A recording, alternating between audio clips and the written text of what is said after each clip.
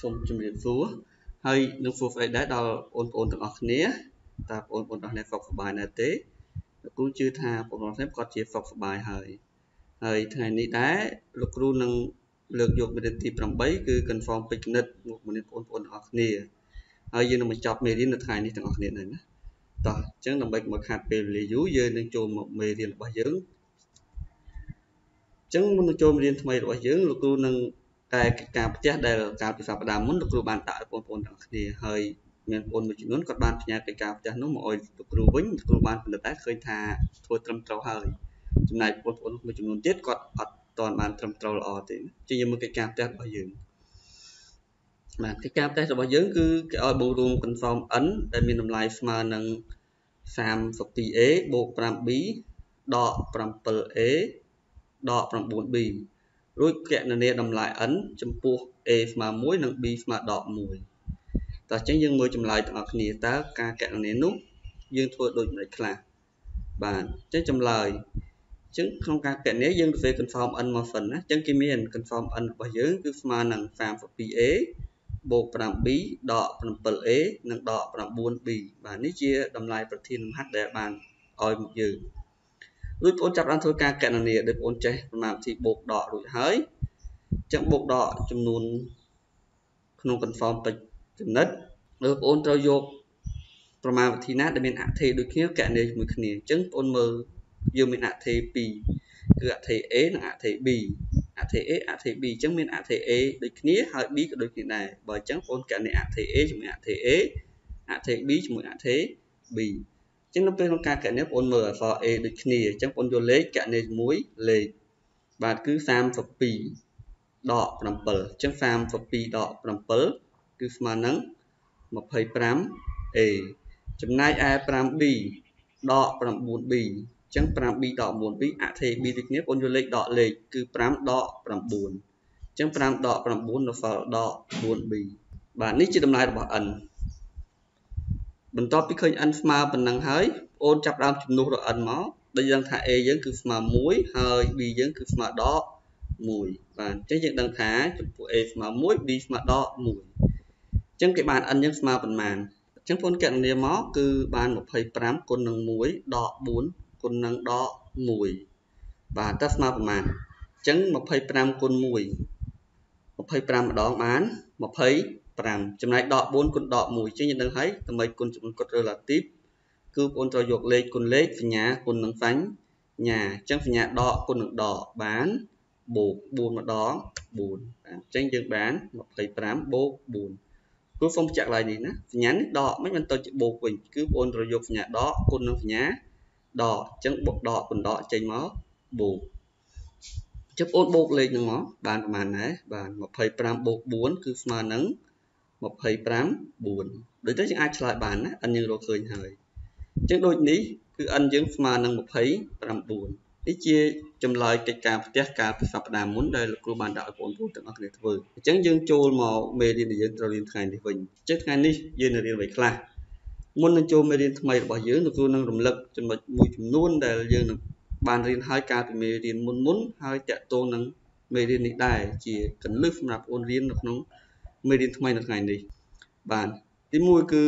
សំណួរលោកគ្រូសួរថាដើម្បីគុណចំនួនកត់ relative តើគេត្រូវធ្វើដូចម្ដេចនឹងបងប្អូនគាត់ជានៅចាំឯណាដើម្បីគុណចំនួនកត់ relative ជាចំនួនកត់ relative គឺយើងរៀនហើយតាំងពីមេរៀនទី3មកម្លេះអញ្ចឹងគេត្រូវធ្វើដូចម្ដេចបាទតើបងប្អូនគាត់ចាំចម្លើយហើយអញ្ចឹងចម្លើយរបស់អញ្ចឹងចម្លើយរបស់យើង គឺគេត្រូវយកលេខគុណលេខសញ្ញាគុណសញ្ញាលេខគុណលេខតើលេខស្អីគុណលេខស្អី បាទចុះឧទាហរណ៍ដូចជា5និង2អញ្ចឹង5គុណនឹង2បាន10 2នឹង3អញ្ចឹង2គុណ3បាន6នេះលេខគុណនឹងលេខចុះសញ្ញាគុណសញ្ញាអញ្ចឹងសញ្ញាគុណសញ្ញាដូចយ៉ាងម៉េចខ្លះបាទនេះបងមើលនេះណាសញ្ញាបូកគុណនឹងសញ្ញាបូកចេញមកបានបូកសញ្ញាដកគុណនឹងសញ្ញាដកចេញមកក៏បានបូកដែរទៀតគឺសញ្ញាបូកគុណនឹងសញ្ញាដកចេញមកដកចំណែកសញ្ញាដកគុណសញ្ញាបូកចេញមកបានដកវិញ បាទអញ្ចឹងបងអាចចាំបានណាបើសញ្ញាដូចគ្នាគុណចូលគ្នាវិជ្ជមានបើសញ្ញាផ្ទុយគ្នាគុណចូលគ្នាអវិជ្ជមាននេះជាចំណុចដែលយើងត្រូវរំលឹកមេរៀនឡើងវិញហើយមេរៀនដែលយើងរៀននៅថ្ងៃនេះគឺមានមេត្តាដូចជាចំណុចលេខ4ផលគុណ confirm ពេចគណិត និងចំណុចលេខ5ការដាក់ជាផលគុណកតាអញ្ចឹងខាងនេះយើងនឹងរៀនតែ2ចំណុចនេះទេតែយើងមើលចំណុចលេខ4គឺផលគុណ confirm ពេជ្រគណិតអញ្ចឹងយើងមានអីគេខ្លះ លោកគ្រូមានឧទាហរណ៍មួយឲ្យបងប្អូនមើលជាដំបូងគឺឲ្យកណនីប្រមាណវិធីគុណខាងក្រោមបាទអញ្ចឹងឲ្យលំហាត់កគឺ2គុណ2គុណនឹង2អញ្ចឹងបងប្អូនមួយចំនួនគាត់ទៅចេះគុណលេខឯណានៅពេលបងប្អូនយក2គុណ2គុណ2បងប្អូនគាត់ចេះគុណតាមនឹងហើយ2គុណ2បាន4 4 2ដងស្មើនឹង5 3បាទនេះជាចម្លើយគឺ2គុណ2គុណនឹង2ស្មើ8ឥឡូវលោកគ្រូអត់ចង់បានចម្លើយត្រឹមតែលេខ8ទេ លោកគ្រូចង់បងប្អូនបំបែកទៅជាស្វ័យគុណវិញប្រសិនបើយើងឲ្យវាធ្វើទៅជាស្វ័យគុណនោះបងអាចធ្វើបានយ៉ាងម៉េចបាទនេះចម្លើយគឺគេនឹងសរសេរទៅជា2ស្វ័យគុណ3បាទហេតុបាន2ស្វ័យគុណ3អញ្ចឹងកន្លែងនេះគឺយើងអាចរំលងចម្លើយនេះបានណាអញ្ចឹងបងមើលលេខ2មានប៉ុន្មានតួលេខ2យើងគឺមាន3តួអញ្ចឹងបើ2 3តួគឺយើងបាន2ស្វ័យគុណ3នេះជាចម្លើយឧទាហរណ៍កយើងមើលឧទាហរណ៍ខមួយទៀត គឺលោកគ្រូឲ្យ3គុណ3គុណ3គុណ3អញ្ចឹងបងមើលលេខ3ប្រហែលតួបាទលេខ3គឺមាន4តួចុះលោកឧបមាថាប្រសិនបើយើងកណនាលេខទាំងអស់ហ្នឹងបញ្ចូលគ្នាវិញអញ្ចឹងបងចាប់ដើមគុណនេះណាហ៎3 3ដង9 9 3ដង27 27គុណនឹង3បាទបងប្អូនអត់ចេះមាន27គុណ3បងប្អូនយក3គុណនឹង27វិញអញ្ចឹង3គុណ27បាន81 តែឥឡូវលោកគ្រូអត់ចង់បាន81ទេគឺលោកគ្រូចង់ឲ្យបងប្អូនសរសេរវាសរសេរ81នេះជាស្វ័យគុណវិញអញ្ចឹងគេអាចសរសេរស្វ័យគុណបាន3ស្វ័យគុណ4អញ្ចឹង3ស្វ័យគុណ4ក៏ស្មើ81ដែរលោកគ្រូសូមរំលឹកឡើងវិញបន្តិចកន្លែងនេះយើងបានរៀនហើយកាលពីមេរៀនទី1គឺកន្លែងរឹសក្រេនិងស្វ័យគុណមេរៀនទី1ចាក់ទី7របស់យើងចេញយើងចំណាំណាតើយើងអាចធ្វើ3 fact គុណ4បានដូចមិនដេច បងមើលប្រធានរបស់យើងគឺលេខ3គុណ3គុណ3គុណ3ចឹងលេខ3មានប៉ុន្មានតួបាទលេខ3គឺមាន4តួអញ្ចឹង3មាន4តួយើងអាចធ្វើ3ស្វ័យគុណ4បានអញ្ចឹងនេះគឺជាស្វ័យគុណយើងមើលលំហាត់គោមួយទៀតមកបាទលំហាត់គោគឺលោកគ្រូលោកគ្រូឲ្យ x គុណនឹង x អញ្ចឹងចាក់កាន់ធ្ងន់ឡើងធ្ងន់ឡើងណាលំហាត់លើយើងមានលេខគុណលេខយើងអាចចេញចម្លើយបានចឹងនេះបើជាអក្សរគុណអក្សរដែលយើងហៅថាអថេនោះ គឺអថេគុណនឹងអថេចឹង x គុណនឹង x តើស្មើប៉ុន្មានចឹងដូចខាងលើដែរឧទាហរណ៍កនិងខដែរបងមើលតើអក្សរ x យើងមានប៉ុន្មានតួបាទគឺ x មាន2តួ x មាន2តួនោះយើងអាចសរសេរបានទៅជា x ស្វ័យគុណ2អញ្ចឹង x ស្វ័យគុណ2នេះយើងចូលចាត់ទុកវាជា confirm ពេជ្រគណិតហើយលំហាត់ខមួយទៀតគឺប្រឌៀនលំហាត់គោនិងលំដែរ គឺលោកគ្រូឲ្យអក្សរ y គុណ y គុណ y អញ្ចឹង y យើងជាអក្សរអញ្ចឹងអក្សរគុណចូលគ្នាมันអាចចេញលេខបានទេតែយើងអាចសរសេរវាជាស្វ័យគុណបានអញ្ចឹងអក្សរ y គុណ y គុណ y បានទៅអថេ y គុណអថេ y គុណអថេ y អញ្ចឹង y យើងមានប្រមាណតួដែរគឺ y យើងមាន3តួបើ y មាន3តួចេញអាចធ្វើបានទៅជា y ស្វ័យគុណ3នេះជាចម្លើយទីហកខឃើញថាងាយងាយទេតោះយើងមើលលំហាត់ងមួយទៀត លំហាត់ងនេះមានលេខផងមានអក្សរផងណាគឺលោកគ្រូឲ្យដក 3x គុណនឹង 4x ការ៉េអញ្ចឹងកន្លែងនេះគឺរៀងច្រើនជាងមុនហើយគឺមានលេខផងមានអក្សរផងតែបងប្អូនកុំបាច់ភ័យអីយើងអនុវត្តតាមប្រមាណវិធីគុណនៃចំនួនកត់ relative គឺបងប្អូនយកលេខគុណលេខសញ្ញាគុណសញ្ញាអញ្ចឹងប្រមាណវិធីគុណ confirm ពេជ្រគណិតក៏ដូចគ្នាដែរគឺយកលេខគុណលេខសញ្ញាគុណសញ្ញាអថេគុណអថេបាទលេខគុណលេខយើងមានលេខខ្លះ គឺយើងមានលេខដក3ហើយនឹង4បាទនេះគឺដក3ហើយនឹង4អញ្ចឹងបងយកដក3គុណនឹង4ចំណុចអថេគុណអថេគឺ x គុណនឹង x ការ៉េ x គុណនឹង x ការ៉េពីព្រោះអថេមានតែ2ទេគឺ x ហើយនឹង x ការ៉េបាទរួចយើងកណនាលេខបញ្ចូលគ្នាអញ្ចឹងបងគុណមក3គុណដក4ថាស្មើប៉ុន្មានអញ្ចឹងបងយកលេខគុណលេខមកណាគឺ3គុណ4 3គុណដងបាន12ចំណែក x គុណនឹង x ការ៉េ ចឹងកន្លែងនេះរៀងពិបាកជាងមុនបន្តិចពិបាកជាងមុននេះមិនបើលំហាត់លើបងឃើញ x គុណ x ចឹងស្មើ x គុណ2ទៅថា x យើងមាន2តួ y គុណ y គុណ y យើងបាន y ស្វ័យគុណ3ពីព្រោះ y យើងមាន3តួចឹងនេះ x មួយតួ x មួយទៀតស្វ័យគុណ2តើគុណចូលគ្នាធ្វើដូចម្ដេចបាទកន្លែងហ្នឹងគឺបងអូនត្រូវយកនិទូហ្វាន់កន្លែង x មួយនេះចឹង x មួយនេះមាននិទូហ្វាន់យើងគឺ1ចឹង1បូក1 1បូក2បាន3ចឹងនេះយើងបានដក 12x ស្វ័យគុណ3 ចឹងដកលោកគ្រូបញ្ជាក់ម្ដងទៀតដក12បានមកពីណាដក12គឺបានមកពីដក3គុណនឹង4 3 4ដង12នេះសញ្ញាដកលេខ4អត់មានសញ្ញាបានន័យថាបូកអញ្ចឹងដកគុណនឹងបូកចេញដក x គុណនឹង x ការ៉េអញ្ចឹង x នេះនីតូហ្វាន់1 x មួយទៀតនីតូហ្វាន់2អញ្ចឹងបងយក1បូក2ចេញបាន3ចឹងហាក់នេះលោកគ្រូគិតថាបងថាជាតនហើយណាបាទបើតនហើយយើងទៅចំណុចបន្តទៀត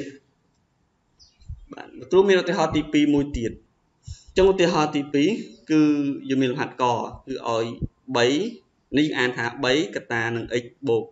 2ចឹង3កតា x បូក2ដើម្បីកណនិកដើម្បីគុណវា គឺយើងត្រូវយក3គុណគ្រប់តួទាំងអស់នៅក្នុងវងកញ្ចក់នេះជាធម្មតាក្នុងការកណនាប្រមាណវិធីគឺបងប្អូនត្រូវកណនាក្នុងវងកញ្ចក់មុនទៅកណនាទៅខាងក្រៅក្រោយក៏ប៉ុន្តែក្នុងវងកញ្ចក់មួយជាអថេមួយជាលេខយើងមិនអាចបូកចូលគ្នាបានទេ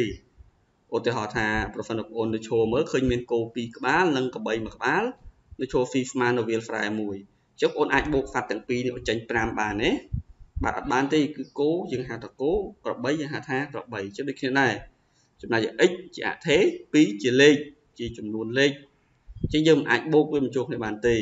ក៏ប៉ុន្តែអាចកណនាគុណចូលគ្នាបានអញ្ចឹងបងប្អូនអាចយក3គុណនឹង x រួចយក3គុណនឹង2បានអញ្ចឹងស្មើនឹងប៉ុន្មាន បាទអញ្ចឹង3គុណនឹង x 3គុណនឹង x បាន 3x ចំណែក3គុណ2ជាងណាណាក៏ចេះដែរ3 2ដងស្មើនឹង5 1នេះជាចម្លើយឧទាហរណ៍កគឺឃើញខាងងាយទេបាទយើងមើលឧទាហរណ៍ខមួយទៀតឧទាហរណ៍ខគឺលោកគ្រូឲ្យដក4នេះយើងអានថាដក4កតា y បូក3ដក4កតា y បូក3អញ្ចឹងក្នុងការកែនេះដូចហាត់កដែរគឺបងប្អូនត្រូវដក4គុណបញ្ចូល គឺដក4គុណនឹង y ហើយដក4គុណនឹងបូក3តើស្មើប៉ុន្មានបាទអញ្ចឹងដក4គុណ y បានដក 4y ដោយសារ y ជាអថេចំណែក4ជាលេខមិនអាចគុណបញ្ចូលគ្នាបានទេ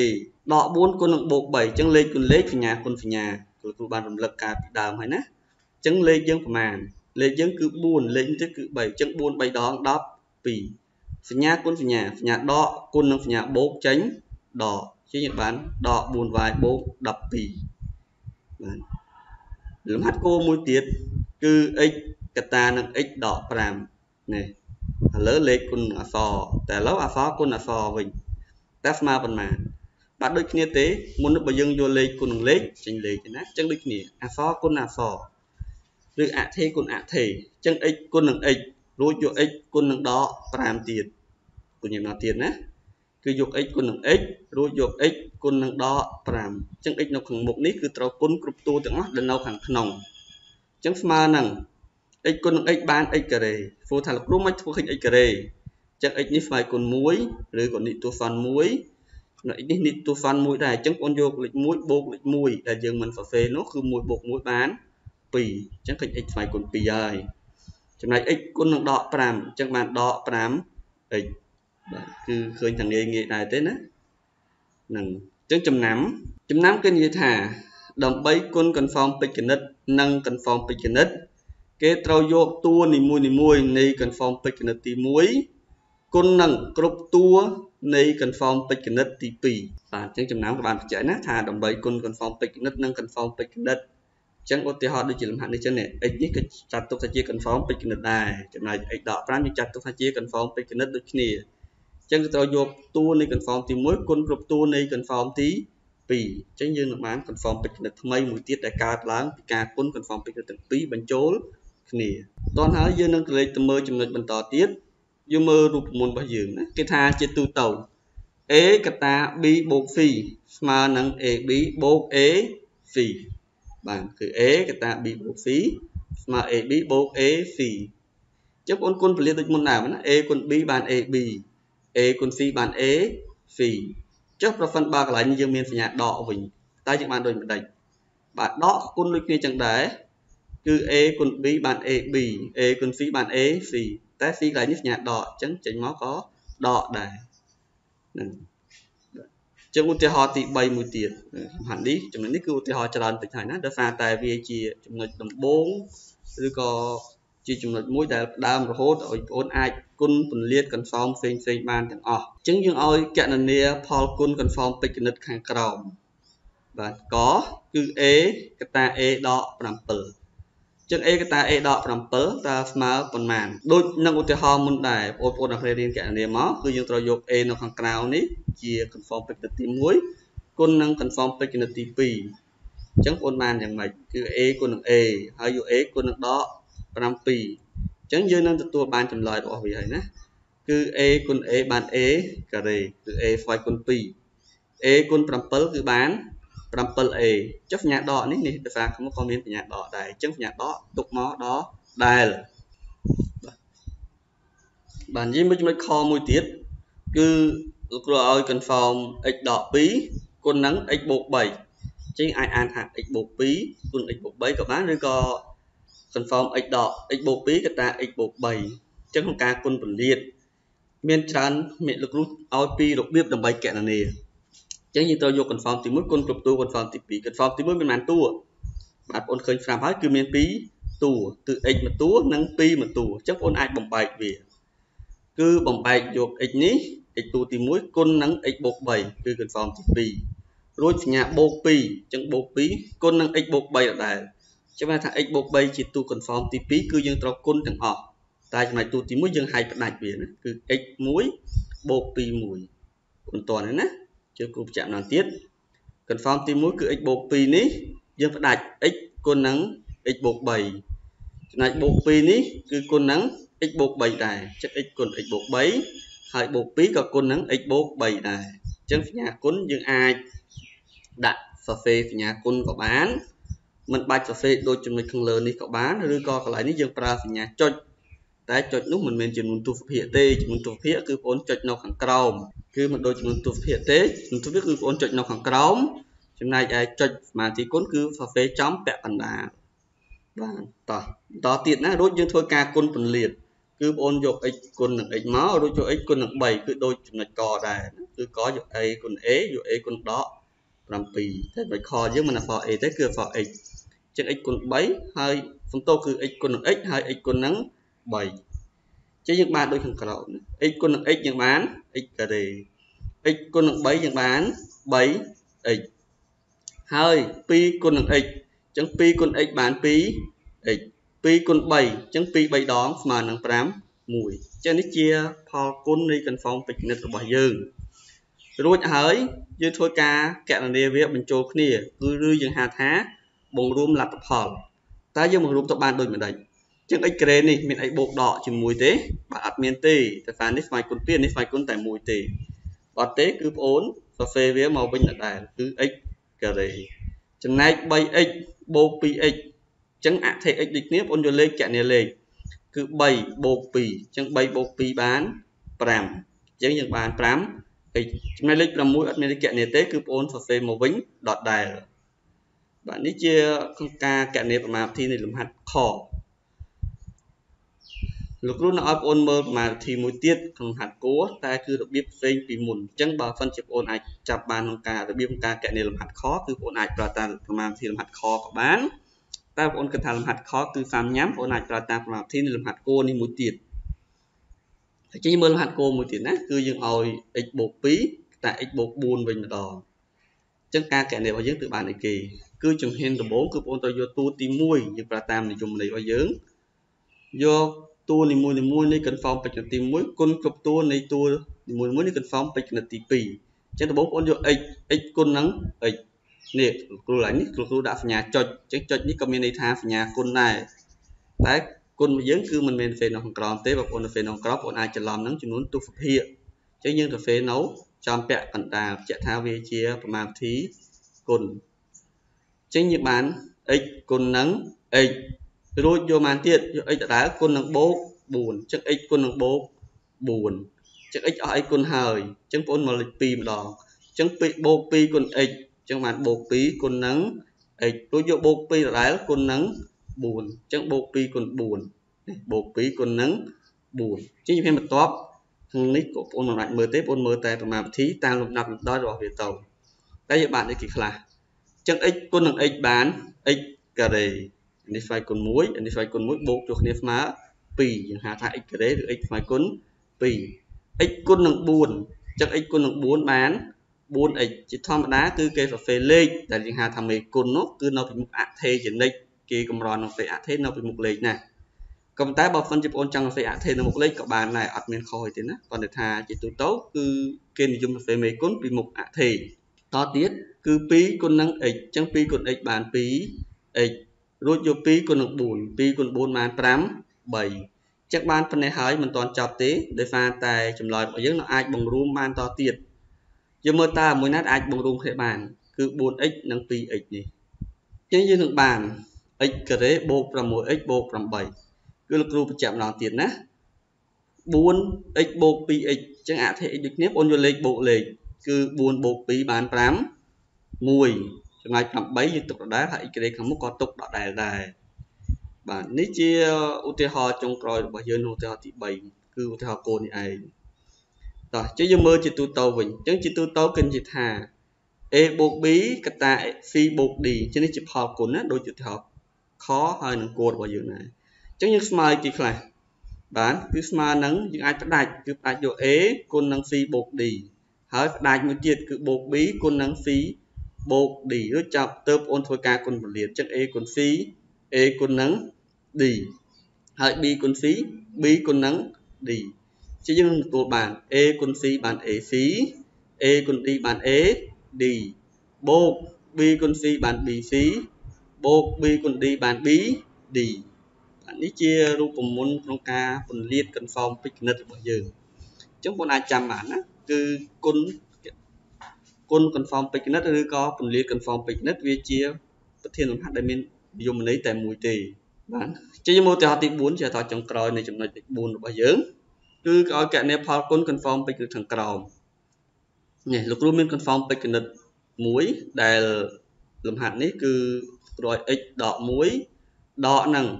x បូក2កតា 2x បូក3បាទអញ្ចឹងលំហាត់នេះរឿងធំជាងមុនណាគឺមាន3 conform ពេជ្រគណិតផ្សេងផ្សេងគ្នា conform ពេជ្រគណិតទី1 conform ពេជ្រគណិតទី2និង conform ពេជ្រគណិតទី3អញ្ចឹងយើងមើល conform ពេជ្រគណិតទី1នេះតើមានអ្វីដែលត្រូវកណនីសមាធិគុណជាមួយវាដែរឬទេបាទយើងឃើញថាអត់មានទេណាគឺយើងមានតែ x ដក1ចំណែក conform ពេជ្រគណិតទី2នេះគឺមានអានេះគឺគុណចូលគ្នា បើដូចលំហាត់ដូចនេះយើងត្រូវពន្លាតវាម្ដងមួយដំណាក់ម្ដងមួយដំណាក់បាទអញ្ចឹងដំបូងឡើយគឺយើងមាន x ដក1យើងរក្សាទុកដកដែល សញ្ញាដកយើងរក្សាទុកដកដែលរួចយើងធ្វើការផ្ដាច់ផ្ដាច់ដូចជានិយមនេះដែលយើងឲ្យអញ្ចឹងចឹង x បូក2គុណនឹង 2x បូក3អញ្ចឹងបងផ្ដាច់ x គុណនឹង x 2x បូក3ហើយផ្ដាច់បូក2ក៏គុណនឹង 2x បូក3ដែរដូចយើងបងបានឃើញស្រាប់ហើយណាគឺយក x គុណនឹង 2x បូក3ហើយនឹង2គុណនឹង 2x បូក3បាទតមកទៀតតើស្មើនឹងអ្វីបាទអញ្ចឹងខាងមុខនេះ x ដក1យើងរក្សាទុកដដែលសញ្ញាដករក្សាទុកដដែលហើយយើងចាប់ផ្ដើមគុណពលាតនៅក្នុងគៀបគឺបំបត្តិពងកញ្ចក់សិនអញ្ចឹងបងយក x គុណនឹង 2x អញ្ចឹង x គុណនឹង 2x បាន 2x ការ៉េ x គុណនឹង3បាន 3x confirm ទី1យើងគុណហើយយើងមក confirm ទី2វិញម្ដង2គុណនឹង 2x អញ្ចឹង2គុណ2បាន4 2គុណ3បាន6 បន្ទាប់ពីយើងបំបត្តិសញ្ញាគ្នាហើយយើងធ្វើការបំបត្តិវងកញ្ចក់ខាងក្នុងទៀតតែមុននឹងបំបត្តិវងកញ្ចក់ក្នុងបងត្រូវចាប់អារម្មណ៍ថានៅក្នុងវងកញ្ចក់នេះយើងអាចកណនាបានបើកណនាបានបងកណនាខាងក្នុងវងកញ្ចក់សិនមកបើកណនាខាងក្នុងវងកញ្ចក់មានន័យថាខាងក្រៅវងកញ្ចក់នេះយើងរក្សាទុកដដែលគឺ x ដក1និងសញ្ញាដកនៅខាងក្រៅយើងរក្សាទុកដដែលហើយខាងក្នុងណាដែលអាចកណនាចូលគ្នាកើតគឺ 3x បូក 4x អញ្ចឹងបើអាចកណនាចូលគ្នាកើតអូនកណនាមកគឺ3បូក4បាន 7x ចំណែកបូក6និង 2x ក្រេយើងរក្សាទុកដកដែលបាទជំហានបន្ទាប់គឺយើងលុបវងកញ្ចក់រួចយើងគុណសញ្ញាដកបញ្ចូលអញ្ចឹងបើកណនាលុបវងកញ្ចក់ចាស់ខាងក្រៅនេះ x ដក1ក៏យើងនៅតែរក្សាទុកដដែលដែរអញ្ចឹងបងគុណសញ្ញាដកចូលមកដកគុណនឹងបូកបានដកគឺដក 2x ក្រេដកគុណនឹងបូកគឺបានដកគឺដក 7x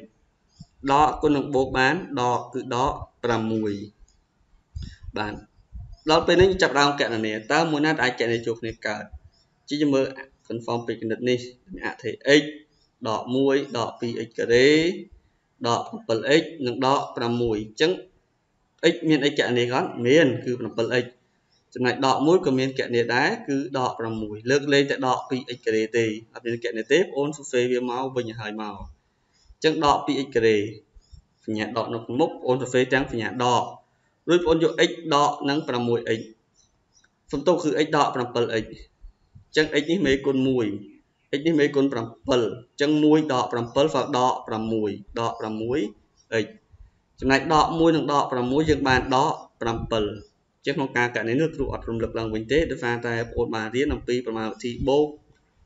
ចំដកចំនួនកត់ relative ហើយនឹងបូកដក conform ពេចគណិតរួចហើយអញ្ចឹងនេះជាចម្លើយរដ្ឋាទី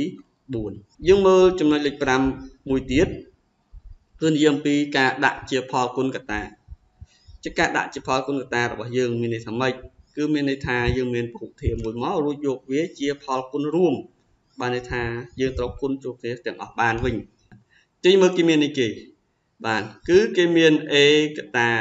b បូក c អញ្ចឹងស្មើនឹងអីអញ្ចឹងនេះជារូបមន្តដែលយើងបានរៀនហើយណា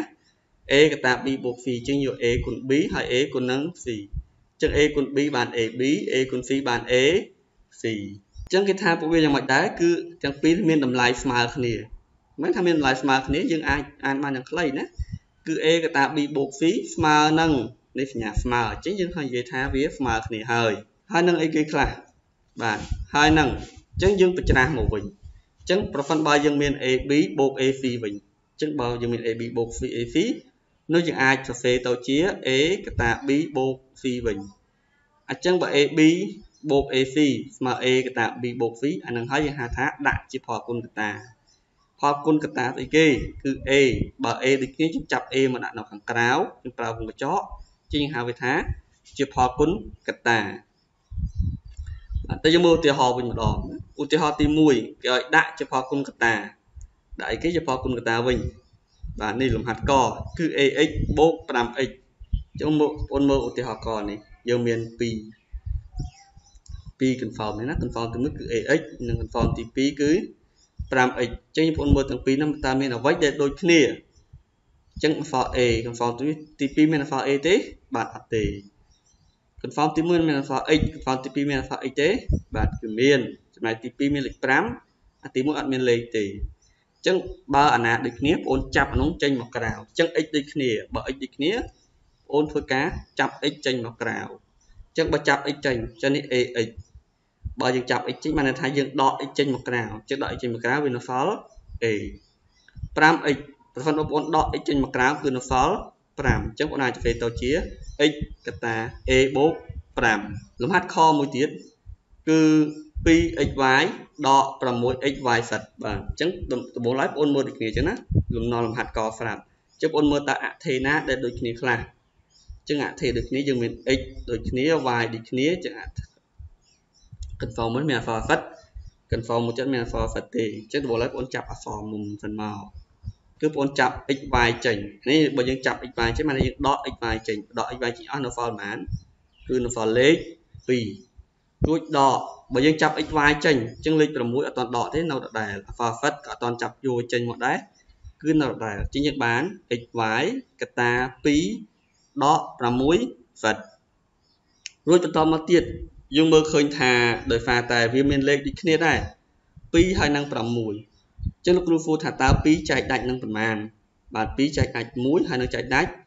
2ចំណែកឯ6តើ6ចែកដាច់2ទេបាទ6ចែកដាច់2 បើ6ចែកដាច់2បងអូនអាចចាប់2ចេញមកក្រៅមួយទៀតបានចាប់2ចេញមកក្រៅអញ្ចឹងមានថាបងអូន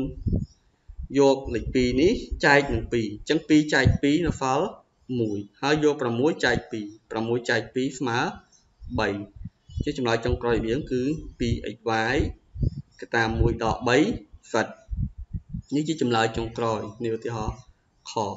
ជើគ្រូបញ្ជាក់ឡើងវិញណា ចាប់ពីថ្ងៃក្រោយទៅបងអូនអាចចាប់លេខមុនក៏បានដែរជាទូទៅគេច្រើនតែចាប់លេខមុនមុននឹងចាប់អធិក្រោយដោយសារលេខជាមេគុណអញ្ចឹងគេតែងតែនិយមសរសេរមេគុណពីខាងមុខតែបងអូនអាចសួរថាចុះលោកគ្រូបើខ្ញុំចាប់អធិមុនចាប់លេខបានទេ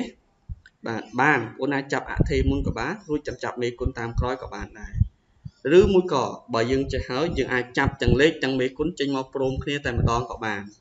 ចុះទៅហៅឡើងវិញណាបើមិនយើងអត់មើលចំណុចកណ្ដាលនេះ អញ្ចឹងបងមើល 2xy អញ្ចឹងបងចាប់ 2xy ចេញត្មងមកអញ្ចឹង 2xy ចែក 2xy ស្មើ1អញ្ចឹង6ចាប់2ចេញគឺមានន័យថា6ចែក2 6ចែក2 fall 3 x y ចាប់ចេញអស់ហើយចឹង fall for fit មួយទៀតបាទនេះគឺជាចម្លើយលំហាត់ខតើយើងមើលលំហាត់គោមួយទៀតហាត់គោគឺលោកគ្រូឲ្យ 10AB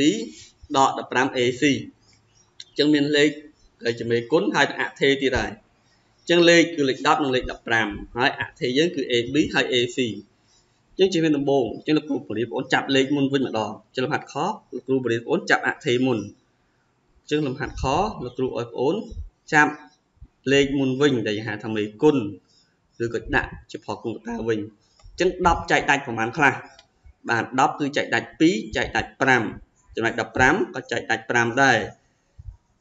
មក10ក៏ចែកដាច់5 15ក៏ចែកដាច់5អញ្ចឹងបានន័យថាយើងចាប់5ចេញមក AB